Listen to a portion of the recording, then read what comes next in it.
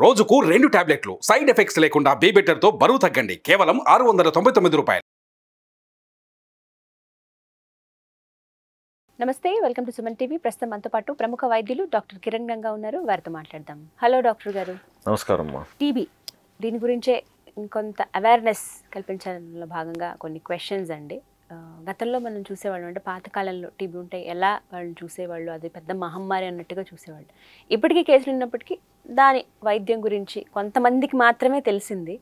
కానీ ఈ టీబీ రావడానికి కారణాలు ఎందుకు వస్తుంది ఇలా వస్తుంది వచ్చినప్పుడు కనిపించే లక్షణాలు కానీ వీటి గురించి ఫస్ట్ మాట్లాడదాం సార్. టీబీ ఒకరికి రావాలంటే అది ఒకరి నుంచి ఇంకొకరికి ట్రాన్స్ఫర్ అవ్వాలి. ఇప్పుడు ఎట్లా డయాబెటీస్ బీపీ వారిలో వారిలో డైరెక్ట్గా వస్తాయి అంటాం కదా. అవును. అంటే ఇవి ఇన్ఫెక్షన్ డిసీజెస్ కావు ఇవి. స్ప్రెడింగ్ స్ప్రెడ్ స్ప్రెడింగ్తో వచ్చేటివి కాదు. బట్ టీబీ అనేది ఏంటంటే ఇట్స్ ఇన్ఫెక్షన్ అది.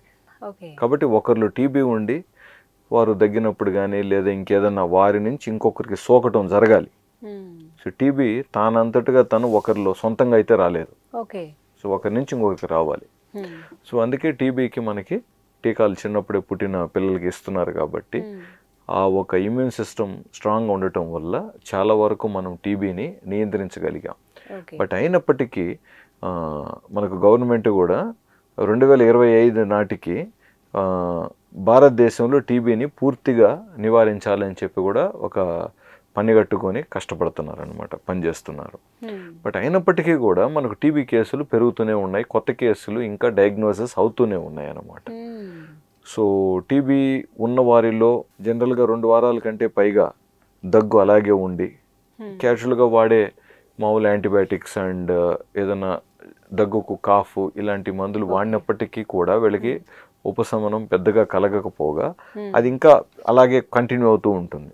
సో డాక్టర్ దగ్గరికి వచ్చినప్పుడు ఎక్స్రే కానీ లేదా సిటీ కానీ తీసినప్పుడు ఆ లంగ్స్లో ఏదైనా లైట్గా డ్యామేజ్ కనపడినప్పుడు ఆ ఎటువంటి డ్యామేజ్ ఎక్కడ లంగ్స్లో డ్యామేజ్ అనే దాన్ని బట్టి ఇది టీబీ అనేది ఒక ఒక క్లారిటీ వస్తుంది.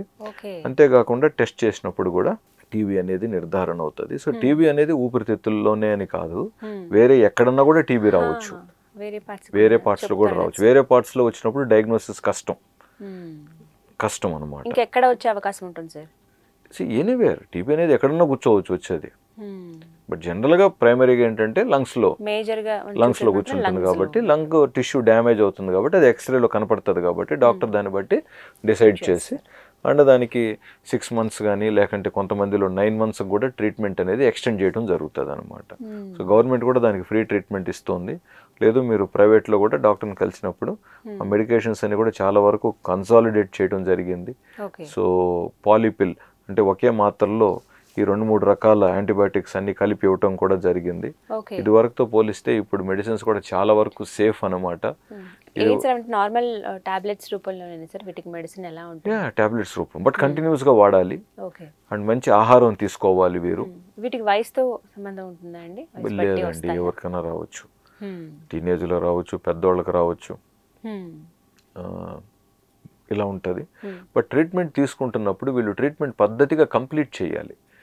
ఒక వన్ మంత్ వాడిన తర్వాత నాకు బాగా అయిపోయిందని చెప్పేసి ఆ మెడికేషన్ స్టాప్ చేస్తే చాలా డేంజర్ ఆ టీబీ కానీ లోపల రెసిస్టెంట్ డెవలప్ అయిందనుకోండి Hmm. ఇంకా మళ్ళీ పాతకాలపు టీబీ పేషెంట్ లాగా అయిపోతారు అప్పుడు. నువ్వేం చేసినా కష్టం. Hmm. అది. సో ఉన్న అక్కడ ఉన్న దానికి వాడాల్సిన యాంటీబయాటిక్స్ని పద్ధతిగా వాడాలి.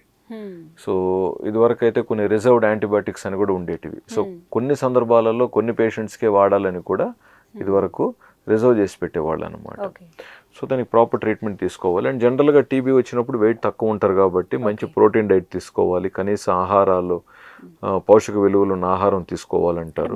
దగ్గు వస్తుంది ఇదేనా సార్ మెయిన్ మనం చూసేటువంటి దగ్గు బరువు కూడా తగ్గచ్చు. వెయిట్ తగ్గుతారు? ఓకే బట్ ఇప్పుడు మనం ఇంకా గమనిస్తుంది ఏంటంటే షుగర్ ఎక్కువగా ఉన్న వారిలో. దగ్గు సార్ వారంగా దగ్గు ఉంది రెండు వారాలుగా దగ్గు తగ్గట్లేదు అన్నారనుకోండి Hmm. టీబీకి టెస్ట్ చేయాల్సిన అవసరం వస్తుంది మనకి. అలా టెస్ట్ చేసినప్పుడు కొంతమంది వారిలో నిజంగా టీబీ నిర్ధారణ అవుతుంది. అంటే రీజన్ ఏంటి సార్? అంటే డయాబెటీస్ కూడా ఒక కారణం అవుతుందా? అంటే డయాబెటీస్లో ఇమ్యూన్ సిస్టమ్ డౌన్ అయ్యే ఛాన్సెస్ ఉంటాయి కదా హై షుగర్స్ మెయింటైన్ చేస్తే. Hmm. సో ఇటు డయాబెటీసు అన్కంట్రోల్డ్ డయాబెటిక్ ప్లస్ ఇప్పుడు టీబీ తనకి ఎక్కడో తగిలింది. Hmm. Mean but immune system ప్రా ప్రాపర్గా ఉండింటే. అది ఇన్ఫెక్షన్ అయ్యేది కాదు. ఇతనిలో ఇమ్యూన్ సిస్టమ్ డౌన్ ఉంది కాబట్టి ఇప్పుడు ఇన్ఫెక్షన్ అయింది. సో ఇన్ఫెక్షన్ అయింది. సో వ్యాధి నిరోధక శక్తి తక్కువ ఉంది కాబట్టి ప్లస్ షుగర్ ఎక్కువ ఉంది కాబట్టి. అది త్వరగా స్ప్రెడ్ అవుతుంది. ఆ డ్యామేజ్ అనేది ఫాస్ట్గా అయ్యే ఛాన్సెస్ ఉంటాయి. డయాబెటీస్ పేషెంట్స్లో. కాబట్టి ఇమీడియట్గా వాళ్ళకు షుగర్ మంచి కంట్రోల్లోకి తీసుకురావాలి. అండ్ ఇమీడియట్గా వాళ్ళని ఇప్పుడు పల్మనాలజిస్ట్ దగ్గరికి పంపించి దాన్ని ప్రాపర్గా ఇవాల్యుయేషన్ చేయించి తను ఇస్తున్న మెడికేషన్స్ని కూడా ప్రాపర్గా తీసుకోమని చెప్పి మనం పేషెంట్ని ప్రోత్సహించాలి. అండ్ ఒకవేళ టీబీ మందులు ఎక్కువ ఉంటాయి కాబట్టి మళ్ళీ డయాబెటీస్ సంబంధించిన మాత్రలు ఎక్కువ ఇస్తే కొంచెం పేషెంట్ కష్టం అవుతుంది కాబట్టి Hmm. టీబీకి ఇచ్చే మందులు తప్పవు. ఎలాగో అవి కంపల్సరీగా తీసుకోవాల్సిందే. అక్కడ కాంప్రమైజ్ లేదు. సో మనం ఏం చేస్తామంటే డయాబెటీస్కి ఇచ్చే మందులు మాత్రలు తగ్గించి అవసరం ఉంటే ఇన్సులిన్ ఇంకా పెంచుకుంటాం. పెంచుకొని ఫుడ్ని మంచిగా తినాలని ప్రోత్సహిస్తాం. Hmm. అక్కడ ఒక చక్కెర బెల్లం సంబంధించిన వస్తువులు మాత్రం వద్దని చెప్పి మిగతావన్నీ నువ్వు తిను అని చెప్తాం. Hmm. సార్ మరి అన్ని తింటే షుగర్ పెరుగుతుంది కదా. అది మళ్ళీ మేము కంట్రోల్ చేసుకుంటాం. దానికి కావాల్సిన ఇన్సులిన్ డోసులు ఇచ్చి నువ్వు ముందు తిని. తగ్గిపోయిన బరువు మళ్ళీ కోలుకోవాలి అన్నట్టుగా ప్రోత్సహిస్తాం. టీబీ ఉన్న వాళ్ళు ప్రత్యేకంగా ఈ ఫుడ్ అవాయిడ్ చేయాలి వాళ్ళని ఏమైనా ఉన్నాయండి? అంటే స్మోకింగ్ అంటే ఫుడ్ అన్నారు కాబట్టి బట్ స్టిల్ స్మోకింగ్ ఉన్న వ్యక్తి అయితే ఖచ్చితంగా స్మోకింగ్ అవాయిడ్ చేయాలి. సో ప్రాపర్గా బ్రీతింగ్ ఎక్సర్సైజెస్ అవి చేసుకోవాలి. ఇంకా టీబీ ఉంది షుగర్ కూడా ఉంది కాబట్టి వీళ్ళు ఖచ్చితంగా ప్రాపర్గా డైట్ పాటించాలి. See, మనం ఇంత మాట్లాడుకుంటున్నాం కానండి ఇప్పటికి కూడా పది షుగర్ ఉన్న వారిలో దాదాపు నలుగురు ఐదు మంది టీ కాఫీలలో మంచిగా షుగర్ వేసుకొని తాగుతున్నారండి ఇప్పటికీ కూడా. సో షుగర్ ఉందని తెలిసి కూడా ఎంతమంది షుగర్ వేసుకోవటం ఆపుతున్నారు? Hmm. సో ఇవన్నీ ఇట్ ఈస్ సెల్ఫ్ డిసిప్లైన్ ఇది. ఒక డాక్టర్ చెప్తే తెలుసుకొని పాటించేది కాదు. ఇప్పుడు ఒక చోట పోలీసు నో ఎంట్రీ బోర్డు పెట్టారు కొత్తగా. ఇంకా బోర్డు పెట్టారు కాబట్టి నువ్వు అటు వెళ్ళకూడదు. Hmm. నువ్వు అయినా వెళ్తున్నావు అంటే it is your self respect Hmm. అట్లే విధంగా డయాబెటీస్ ఉంది అని తెలిసిన వ్యక్తి ఎవరైనా డాక్టర్ చెప్పినా చెప్పకపోయినా పూర్తిగా పంచదార వినియోగం ఆపేయాల్సిందే. షుగర్ కంట్రోల్లో ఉన్నా సరే. Hmm. షుగర్ నాది కంట్రోల్లోనే ఉంది కదా అని చెప్పి కొంచెం పంచదార వాడాం. మరి ఐదేళ్ళ తర్వాత కంట్రోల్ తప్పిందిగా. అప్పుడు. సో అంటే ఐదేళ్ళు పట్టింది. ఏది డయాబెటీస్కి కంట్రోల్ తప్పటానికి నువ్వు ముందస్తుగా జాగ్రత్తలు తీసుకొని ఉంటే డయాబెటీస్ కంట్రోల్ తప్పేది కాదుగా ఈ ఐదేళ్ళ తర్వాత. సో అలాగా డయాబెటీస్. ఉంటే స్ట్రిక్ట్ డైట్ కంట్రోల్ చేసుకోవాలి. అండ్ టీవీలో ఇవి తినకూడదని ఏమి లేదు కానీ.